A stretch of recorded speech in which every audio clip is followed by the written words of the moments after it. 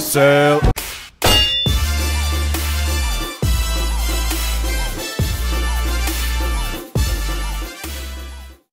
Welcome back everyone to another Minecraft mod showcase and in this showcase we're going to be checking out the Da Vinci's Vessels mod and if you don't know what Da Vinci's Vessels mod is it's basically a remake of an old school mod from Minecraft that was called Archimedes ships and basically this mod allows you to make your very own ships as well as flying airships in Minecraft. So let's go check it out and if you guys have any suggestions for mod showcases I should do in the future please do not hesitate to drop them down in the comments below. Alright let's get into this. So the first thing thing you want to actually make your airship, the most vital part of the entire mod is this right here, which is the ship's helm. And to craft the ship's helm, it is going to be four planks of any kind, four sticks, and one iron ingot, like so. And that will give you this bad boy right here. So, when you place this down, you can right-click it, and it'll open up this interface. And this interface is basically how you can set up your entire ship um, and actually assemble it and use it as a moving vehicle. So, you can rename the ship here, you can assemble your ship using this,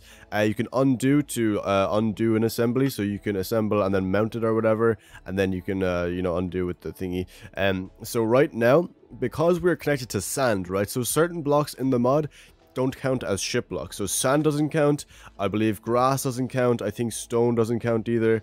Um, just kind of uh, blocks that you would find in world gener terrain generation, um, they don't count as blocks that you would make a ship out of, basically. So you'd use wood, like you'd use wood or like wool or something like that, and just kind of like building blocks, not not necessarily like world generation blocks like dirt and sand. They wouldn't count as ship uh, blocks. So as you can see, it says type ship right here, blocks 2, which is literally just this and the, the chest attached to it. So if I put it over here, it'll say blocks 0 because the chest doesn't count, obviously. Um, and yeah, so basically um, it has zero air balloons, and we'll get to air balloons in just a second, and there's two tile entities attached. So the two tile entities would be this and this. So this is actually making it so that this counts as part of the ship, I believe. Um, but if this wasn't here, I think this would just be zero. Uh, that's how that works. So the mass is 0.7 kg, and the way mass works basically is there's different types of blocks that have different density. So for example, an iron block would weigh a lot more than um, a wood block, for example, or a wood plank block. So I'll grab an iron block just to demonstrate this, here, or even a gold block. Um, and I'll grab a wood block as well just to just to show this off properly. So if we attach the ship's helm here, we can assemble and it says it's a ship and it has one entity uh, which is this thing and it also has two blocks and 0.7 uh, kg mass. Now, if we remove the wood block and replace it with a gold block, for example, we can assemble the ship, and it actually shows it as the same, but I'm pretty sure if there were air balloons attached to this, it would actually be heavier I think that's how that works. Um, and we can try it again with iron. It's going to be the same as gold probably. But uh, yeah, anyway. So the way you can actually assemble the ship and get it moving is you can do that you can do assemble ship to actually like uh, get the blocks all together and all this stuff. So now this is actually an assembled ship right here, and you can do a mount ship. And now this is technically a ship that I'm on right now. It can move around. Um, so yeah, there's a couple of keybinds that you'll have to have uh, bound in your controls config. So I'll go down here. Here we go. Okay, so these are the Da Vinci's Vessels controls. So we've got a line, which will basically just um, kind of center your uh, ship so that it's in line with all the blocks around you and it won't be like um like uneven or whatever because it's like it turns into an entity from blocks. So you want to have it kind of lined up with all the i'll show you in a second.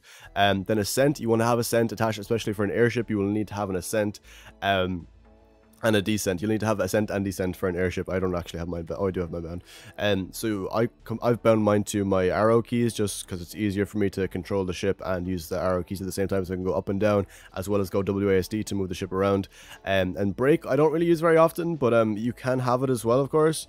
Um, it just basically stops the ship a lot quicker, uh, that kind of thing. And then your disassemble key uh, will be bound to whatever you want. Personally, I just have um, my align and disassemble in the ship's inventory. So ship inventory for me is H. So I can just press H and I can see disassemble and align anyway. So I don't really have these bound to anything because there's no real point for me to have them bound.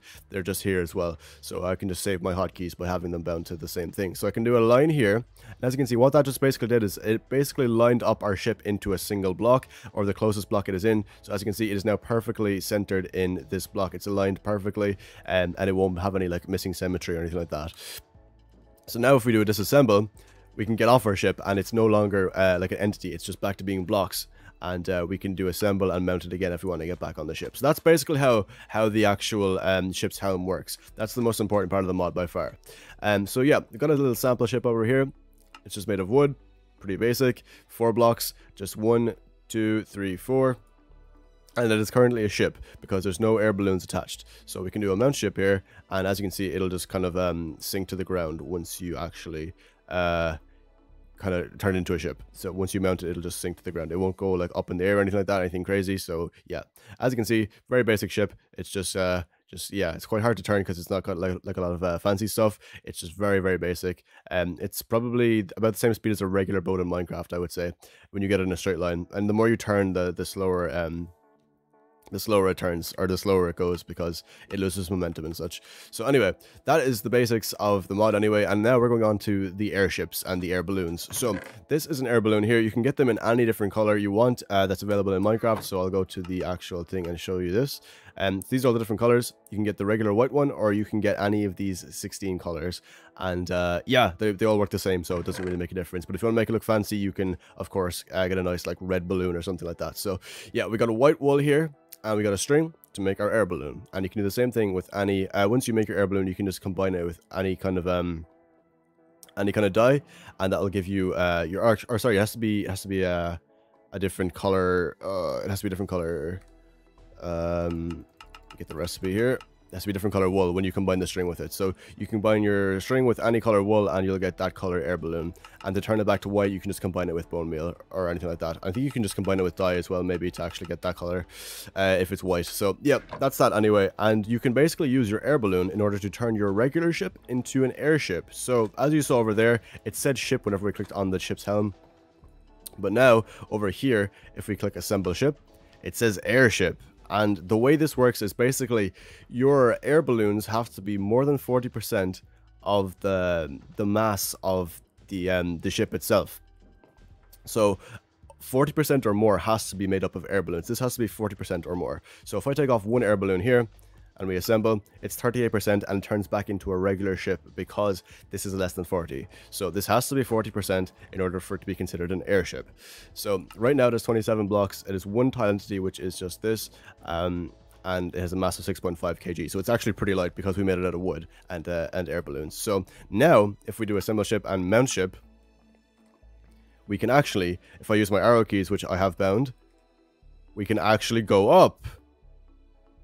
And as you can see, we are just going straight off the ground like so and that's fantastic. So I can use my arrow keys obviously to go up and down and you can just steer the ship normally as well using WASD to go left, right and you can also press your D key to go backwards like so, which is which is great. It's fantastic. So we're going to go back down again um, and I am going to align and disassemble this. So if you watch my modded series, you'll know that like I have used airships a lot in my modded series, especially to get around as like a form of transport. I literally had like a whole base made up of just one airship at one point uh, where I was traveling around. So if you've seen my modded series, you'll know um, I use a lot of uh, Vinci's vessels in that because it's such a useful mod to have, especially for uh, for transporting yourself around and stuff like that. So yeah, really really good to have. Um, and you can obviously of course put like chests and stuff on on your ship as well. You can put like crafting tables, all that jazz. You can put it onto your ship to take it around with you. It's really really handy to have like that kind of stuff with you. So yeah. Anyway, moving on over here, we've got measurement gauges.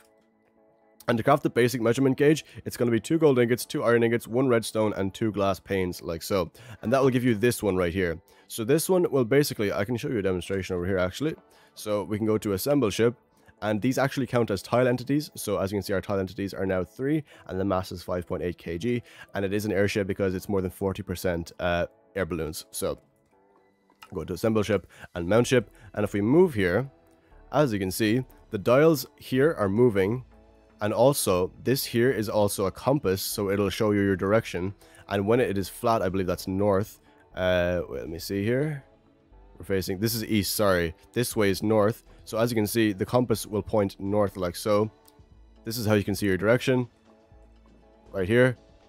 I mean, it's it's kind of useful, but like you do have direction HUD already in Minecraft Vanilla, so it's it's whatever. But it's it's fine. It's good to have it, I guess. So the, we can tell where which way north is by basically looking at the compass here. So like straight up vertical is north, and obviously with horizontal or whatever you're going south, or you're going east or west, um, and obviously the other way around is south. So yeah. So the basic one only shows you your velocity. Now velocity uh, is how fast you're going, and so the speed of your air, the speed that your airship is going at. So as you can see, this is a pretty slow airship right now, so it's not going very fast. Uh, the velocity gauge is not going super super crazy. Uh, it's just maybe like a quarter away. Um, on the gauge and then there's also the direction HUD but over here we've got the advanced version and the advanced version has two extra uh, extra dials. So we have our regular velocity, we also have our compass uh, to show which direction we're going in, and then up above that you have your um your vertical velocity and your um and your downward velocity. So like uh you can you can tell basically how fast you are going up and how fast you are going down. So if you look on the left, these uh the measurement gauges over here, nothing moves at all because I'm only going up and down. But if you look on the right, you can see that the gauges are going crazy. So this this shows you how quickly you are going up and down, and it tells you what altitude you are at, you're at and such. So um, it shows you basically if you're going up or down, and uh, the speed that you're going up and down at. So this one, the one on the right is more for airships. The one on the left will be perfect if you're just looking to make a regular ship. So if you're making a regular regular ship for just going in the water, the one on the left is perfect. But if you're going uh, making an airship, I would recommend the one on the right because it shows you a lot more. Um, obviously this isn't essential. You don't need this to do anything really in the mod.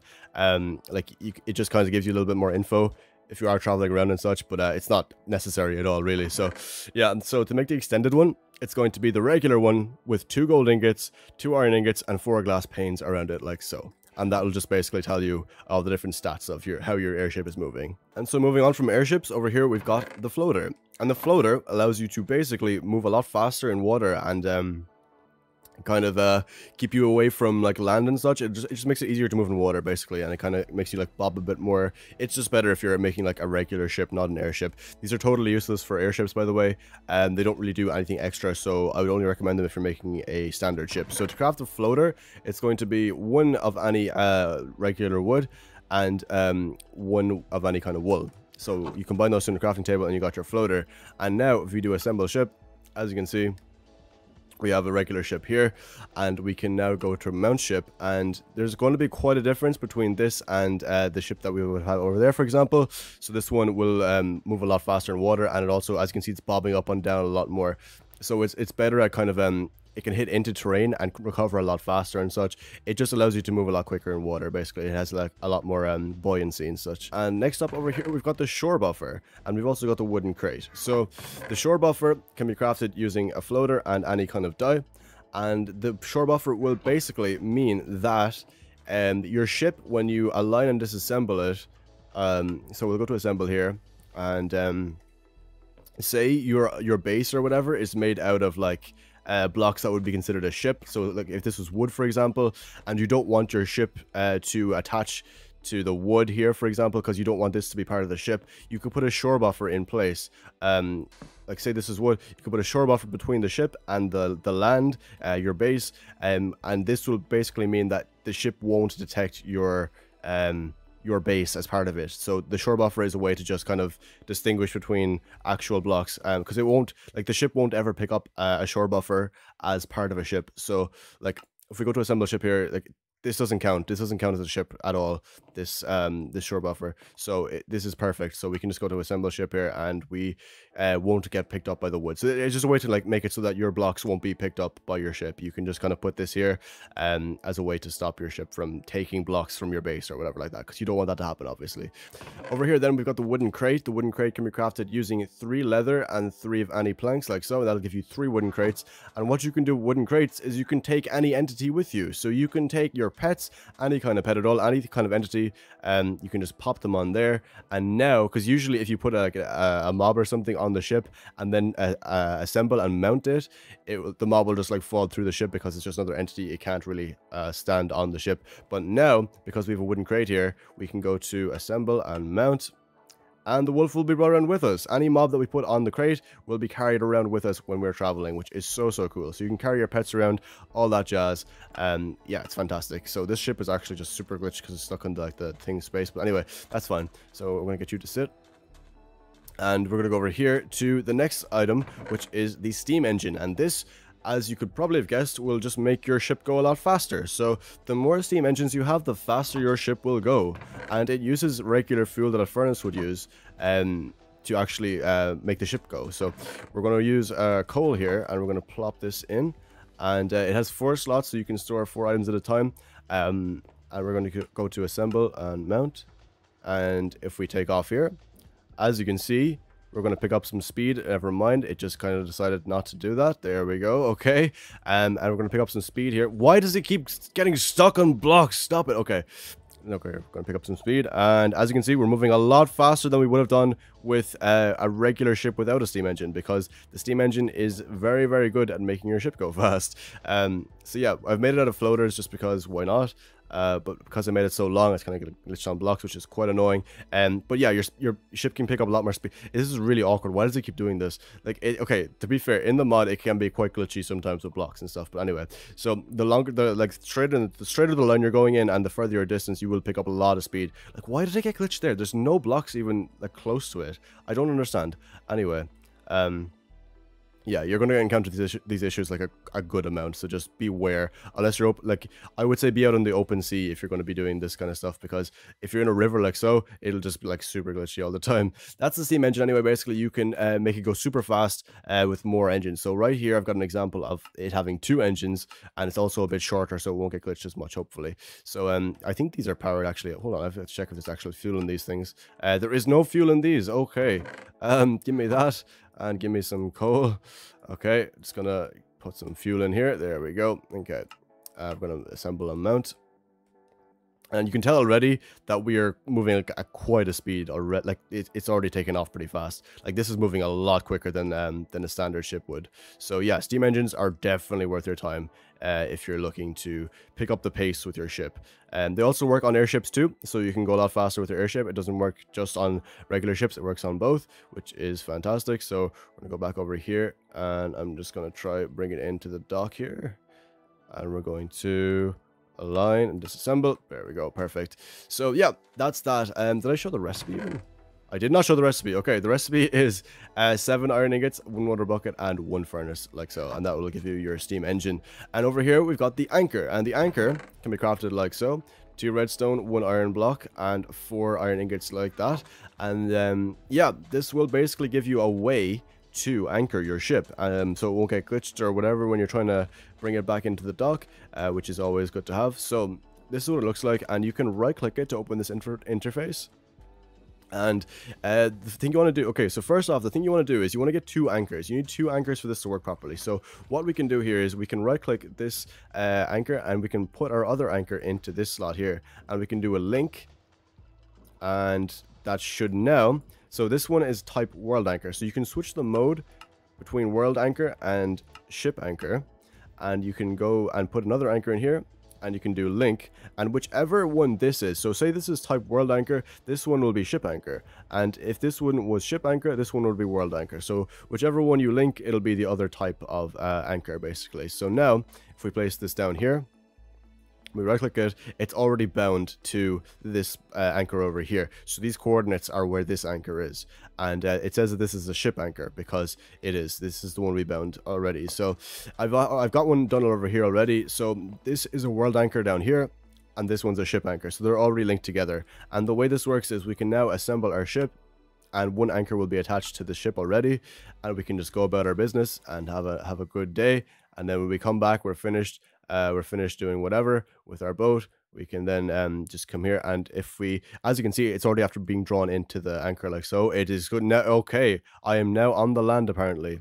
Right so basically if you go to a line now anywhere at all it's like a good radius and um, like you can be quite far away and it'll still pick it up. If you go to a line basically it'll draw your anchor to the one that's bound to the world and then you can go to uh, disassemble and it'll just be stuck right above it. So wherever your anchor is and um, it'll be drawn right above where the other anchor is um, from the ship. So I would say put the anchor down like at the lowest part of your ship so that um, it, your ship won't get like, you know, crazy glitched or anything. Because if you if you have your anchor up here and your ship is like uh, pretty low down, that means that your ship will be put like underwater and your anchor will come down to here. So yeah, just um, try try not to like glitch your ship or whatever when you're doing this. So wherever your anchor is basically and you click a line, it'll just be like magnetic magnetically drawn to uh, the world anchor. So yeah, anchors are super super useful, especially if you have like a hard area to get to. Um, where your dock is or anything like that. So yeah, that's anchors. Pretty very very very useful, I would say.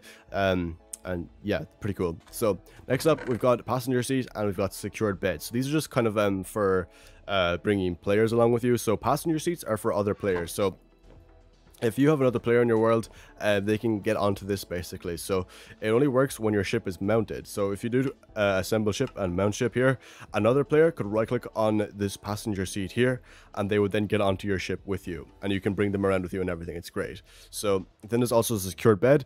And as you can imagine, this is just a bed that stays on your, um, stays on your ship because I don't think regular beds work in the game or in the mod. So you couldn't put a regular bed uh, down on your ship and have it stay. It would just get like glitched and uh, it would just stay in its place and your ship would move off. So you don't want that to happen, obviously. So this is just, this is a secured bed, and to craft it, it's a regular bed and one earning. It's pretty basic. So yeah, um, that's that's pretty much all the items in the mod. So over here, I've just kind of done like um a big version of everything. So I've used kind of every uh, item that's in the mod in in this one airship here, which is is pretty cool. Uh, I'm gonna summon in just like a a random uh let's get like a llama or something. And uh, just to oh oh i'm so sorry. There we go. Much better. Uh, just to show that the crate works and everything like that. So uh, there is fuel in here. And um there's four engines, so it should be really quick. And I just made like a, glass on the floor, so it's easier to see when I'm actually flying around and such.